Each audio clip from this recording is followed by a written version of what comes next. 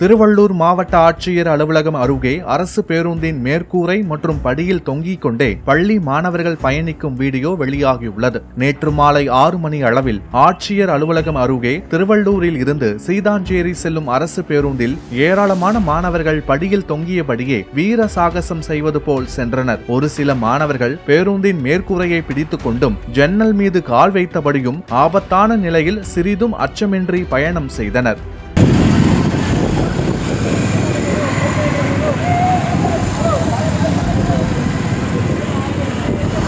இந்நிலையில் அசம்பாவிதம் ஏற்படும் முன் காவல்துறையினரும் பள்ளி நிர்வாகமும் மாணவர்களின் இந்த விபரீத செயலை தடுத்து நிறுத்த வேண்டும் என கோரிக்கை விடுக்கப்பட்டுள்ளது.